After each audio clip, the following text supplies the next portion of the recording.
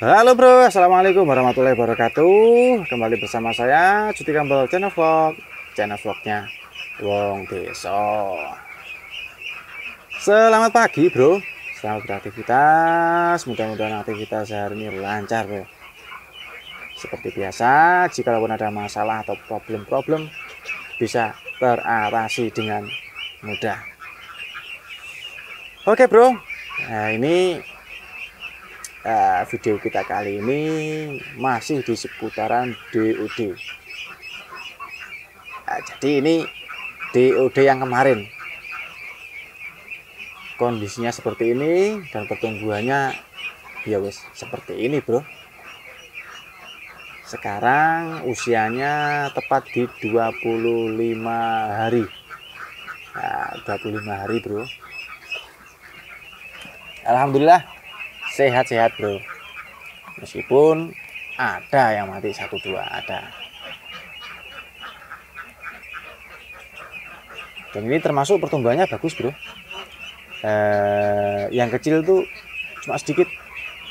Eh, dulu itu ada gelangnya bro.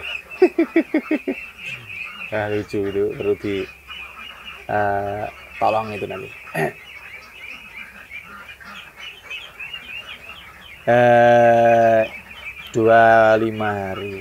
Nah berarti ini sebenarnya sudah eh, waktunya bro. Waktunya kita suntik vaksin nanti. Kalau enggak ya besok lah mungkin. Eh, biasanya itu saya 20 hari itu sudah saya vaksin. Vaksin yang kedua. Yang pertama kan yang tetes itu uh, di waktu baru datang kemarin terus di usia 20 hari itu biasanya sudah mulai saya vaksin lagi yang suntik. Dan ini sampai 25 hari belum saya suntik bro. Ya. karena masih agak repot kemarin tuh uh, bikin kegiatan belum selesai. Ya, mungkin kalau nggak besok ya besok lusa lah baru kita suntik vaksin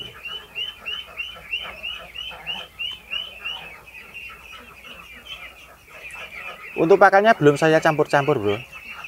Uh, belum saya campur pakan tambahan.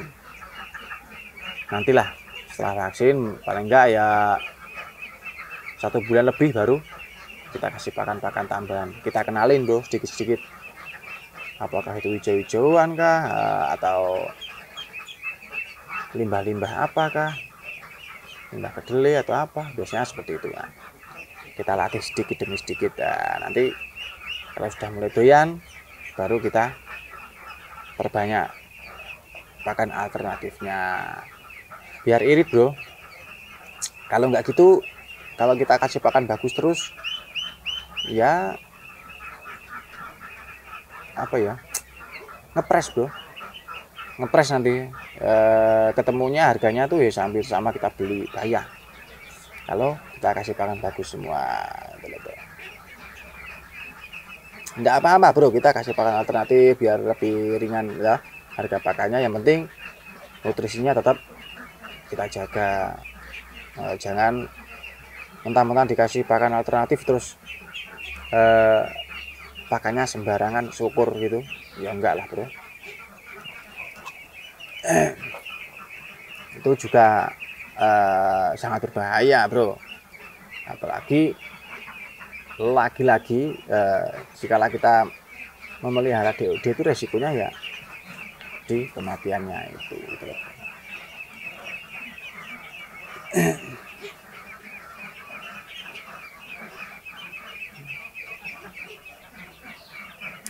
enaknya kalau ada kolamnya seperti ini bro nah, ini ada yang sudah habis mandi ya kan?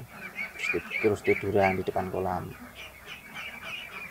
nanti kalau agak panas sedikit biasanya banyak yang mandi lagi tuh. Ada mandian terus istirahat di depan kolam gitu. Dan kalau cuaca hujan eh, kalau sudah terbiasa mandi seperti ini dia nggak kaget gitu loh. Bahkan kadang kalau hujan pun dia malah mandi kadang seperti itu. Karena kan airnya jernih.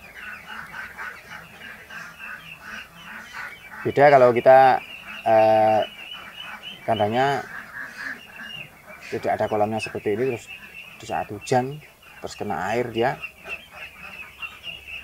Dia terbiasa tuh rawan terjadi pilek.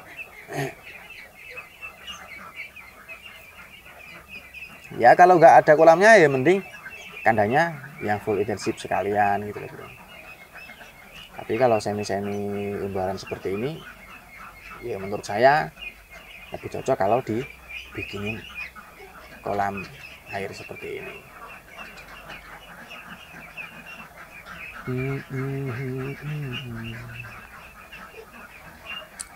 Sudah mulai tumbuh bro. Uh, sudah mulai kelihatan eh, bulu-bulu batiknya itu loh bro. Bulu-bulu kok batik ya? Bulu-bulunya uh, uh, uh, bulu lorek-lorek itu sudah mulai kelihatan bro yang di dada itu ya kan? Sebagian sih pokoknya yang subur-subur itu cepat kelihatan.